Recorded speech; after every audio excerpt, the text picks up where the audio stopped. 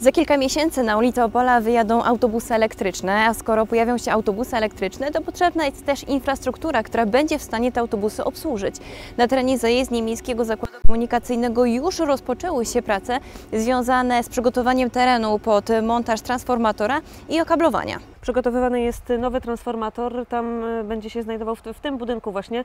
Pierwsze prace zostały przeprowadzone, e, tam też będzie znajdowała się rozdzielnia, która powstanie specjalnie pod e, te nowe okablowanie, a okablowanie będzie prowadziło właśnie z tego nowego transformatora. Przez te wykopy, które tutaj mamy już przeprowadzone, na drugą stronę naszego placu, tam pojawią się pierwsze w Opolu ładowarki elektryczne, ładowarki podopolskie, pierwsze elektryki.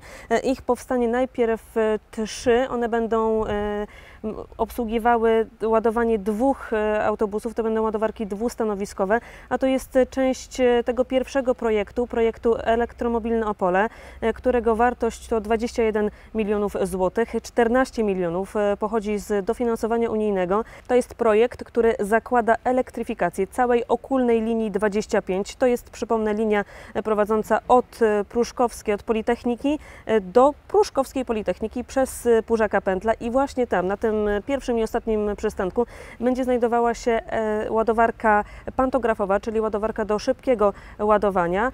Nie tylko linia 25, a tylko przypomnę, że to jest pięć pierwszych elektrycznych autobusów. W planie, w realizacji powoli już jest y, druga część projektu Elektromobilne Opole, etap drugi, który zakłada zakup dziewięciu e, zeroemisyjnych autobusów. One będą jeździły na liniach 3 i 11 nie zelektryfikują tych linii w, całe, w całości. One będą obsługiwały linie 3 i 11 i będą też wspomagane przez e, te tradycyjne autobusy, które już jeżdżą e, na ulicach Opola.